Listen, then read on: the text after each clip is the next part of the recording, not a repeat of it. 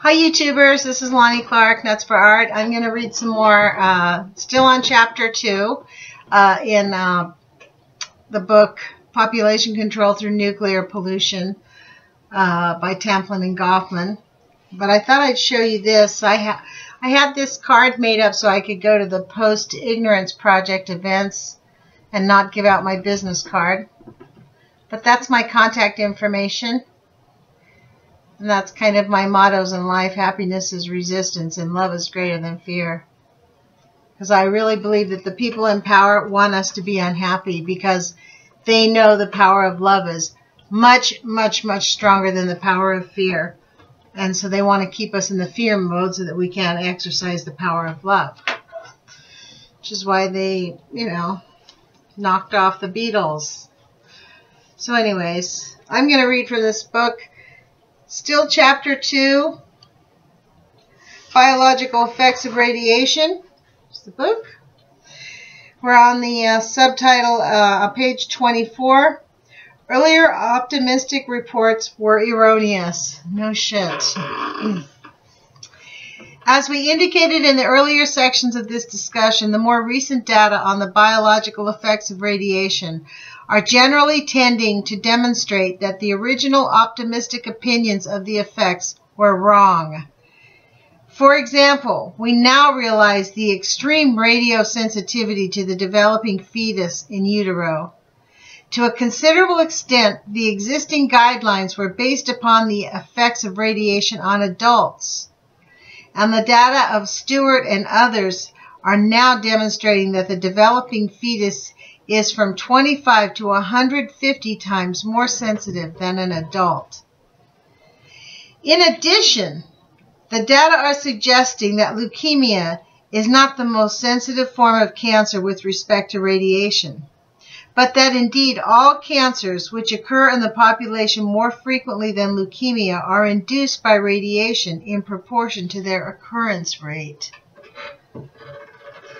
The early estimates of genetic effects of radiation were based upon studies of the fruit fly.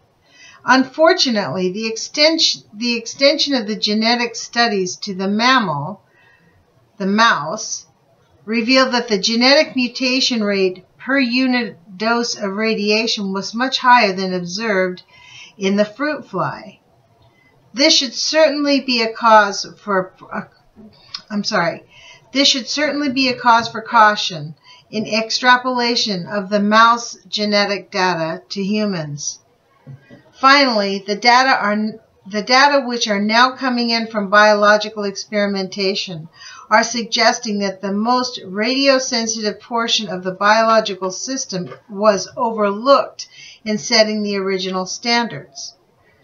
This part of the biological system is represented by the chromosomes, that is, the packages of genes. Radiation can affect genetic material in two major ways.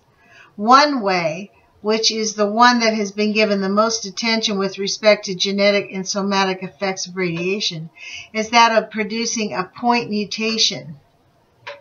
By this process, irradiation changes the structure of the composition of a single gene that is, a single hereditary unit. Through this process is determined through this process is determined the production of a point mutation. Damaging effect of radiation on chromosomes. On the other hand, it is now abundantly clear that the radiation can also affect the chromosomes. By this process, the radiation is able to alter or move from the genetic material not a single gene, but a large number of genes. The developing evidence on chromosomes and the effect of radiation on chromosomes suggests that this process may represent the major me mechanism through which radiation produces its damage such as cancer induction in the irradiated person, and many forms of disease and debilities in his offspring and future generations. Hmm. In other words, a whole new mechanism for the potential biological effects of radiation is now evolving, a mechanism that may represent a far greater susceptibility of man than any other previous mechanism proposed. What should be shocking is that we are only now beginning to learn about the massive disease and death producing effects of alterations of chromosomes. A body of knowledge beginning to be accumulated after the experts, totally ignorant of such a phenomena, had already decided on so-called acceptable doses of radiation. And what does the UN committee have to say about this new body of evidence? And it shows us, this is what it says. I'll read that. Present knowledge of dosage effect on the induction of chromosome anom anomalies is too scanty to predict a doubling dose. There are some indications that monkey chromosomes, and hence perhaps those of other primates, are more radiosensitive than those of mice. The committee is of the opinion that ionizing radiation would increase the prevalence of developmental congenital formations, malformations, and a serious and, and of serious constitutional disorders, but no quantitative estimates can now be made. We think it is extremely important at this juncture to point out that scientists are not omnis omniscient. Excuse me, omniscient. I'll say that again. We think it's extremely important at this juncture to point out that scientists are not omniscient. Though we have a considerable body of information at our disposal, we can never be certain that we have made all the pertinent observations that are necessary to determine the outcome of a particular series of events.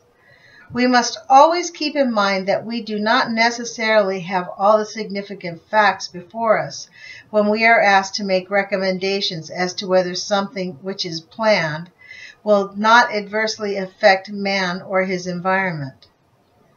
The recent developments that occurred with thalidomide represents a useful example of this respect. As a consequence of the rather tragic use of thalidomide, the drug testing procedures have now been altered. Following the I'm sorry about that. Following the thalidomide disclosure, we now find many drugs listed in the physician's desk reference that have a pregnancy warning which were not previously recorded. In fact, a ridiculous, as ridiculous as it may seem, drugs in the physician's desk reference that were initially used primarily for the treatment of nausea in early pregnancy have a warning against their use now in early pregnancy. Hmm. It would seem that we have a similar situation now with respect to the biological effects of radiation. Subsequent to the establishment of the radiation exposure guidelines, a whole new body of experimental data concerning the radiosensitivity of chromosomes has been evolving. Recent results reported by a group of Johns Hopkins University may demonstrate quite well the importance of the new body of data with respect to the biological effects of radiation. The Johns Hopkins data indicate that between one and two rads delivered in the first 30 weeks in life of uter in utero life will produce severe genetic damage. And in this case, it appears that it appears to be chromosomal damage to the fetal germ cell. As a result of this damage, 50% of the female conceptuses of women who were themselves irradiated as fetuses will be killed. This is a very startling observation, and other confirmations and other confirmations of this observation are necessary and highly desirable. It is an effect the magnitude of which far exceeds anything that had previously been predicted concerning the genetic effects of radiation. How serious are the genetic effects of radiation? No one knows. It is impossible it is possible that exposure to the present allowable level could result in a 5 to 50% increase in, in the death rate, producing some 150,000 to 1,500,000 additional deaths each year in a future population of 300 million people. Moreover, the evidence suggests that there would be over and above the fatal diseases a 5% to 50% increase in such crippling diseases as diabetes, rheumatoid arthritis, and schizophrenia. Wow. With the present radiation guidelines, we will be practicing an insidious form of sadism and genocide. That is the end of chapter 2. So I'll end here, and I hope this isn't. You know, I know that this information is scaring people because a friend of mine told me it's scaring her. But I encourage people not to be afraid. Like, I really believe that there's no need to be afraid of it because we're going to have to learn how to live with it. It is going to affect all of us, but we just need to learn how to deal with it. And I believe that there are ways that we're not, that they're not even trying to figure it out. So anyways, I'm going to end here. Ciao, you guys. Sweet dreams, and I'll talk to you tomorrow night.